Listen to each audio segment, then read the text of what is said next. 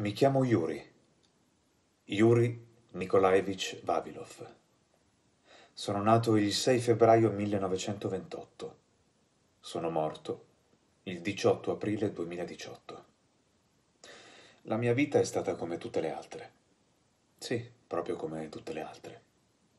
In una cosa però la mia vita è stata davvero speciale.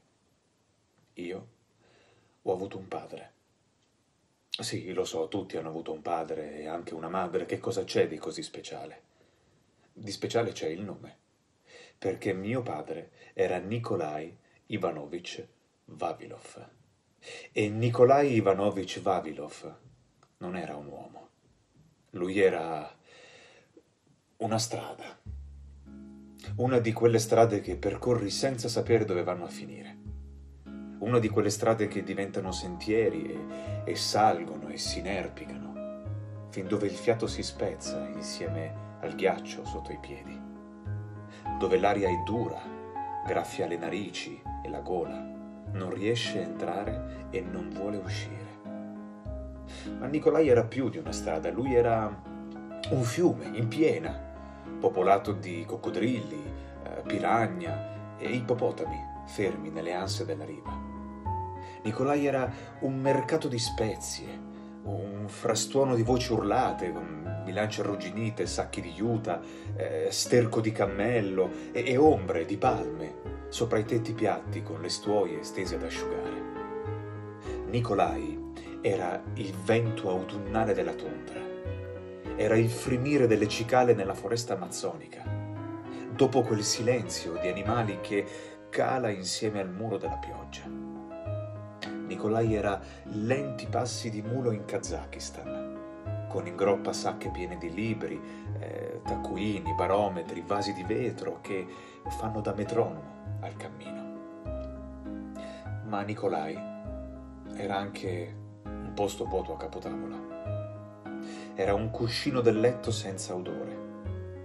Era cartoline dall'aldilà del portone e a volte passi nel corridoio verso la porta di camera mia. Un conato di battiti troppo forte da tenere in petto. Era il mio cuore che saliva in gola quando finalmente, finalmente, finalmente tornava a casa. E allora io appoggiavo l'orecchio per terra e... Arriva, arriva, arriva, sono sicuro, questi non sono i passi della mamma. E non è neanche lo zio Sergei né la zia Lidia, e non è nemmeno la vicina di casa che viene a chiedere un po' di zucchero. Sono sicuro, questi sono i suoi passi. Questa volta è lui. Me l'aveva insegnato lui ad ascoltare. Perché tra i tanti doni che a Nicolai gli erano stati messi in culla, c'era anche quello del silenzio. E chi sa ascoltare, impara. E chi impara, sa anche raccontare. E cosa ascolti, papà? Shh ascolto cosa c'è nell'altro mondo.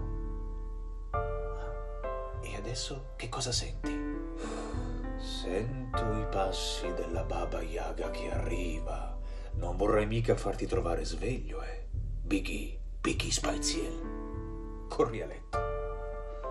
E così mi ero abituato anch'io da bambino ad appoggiare l'orecchio sul pavimento di casa nostra, a Leningrado, al numero 13 tra la prospettiva Nieschi e via Gogol. E appoggiavo l'orecchio per terra per sentire cosa succedeva in tutti quei mondi in cui lui spariva per intere stagioni, per sentire se stava andando ancora avanti, via, lontano da me, o se aveva finalmente girato le spalle a quella sua nuova, fantastica avventura e stava tornando indietro, verso casa.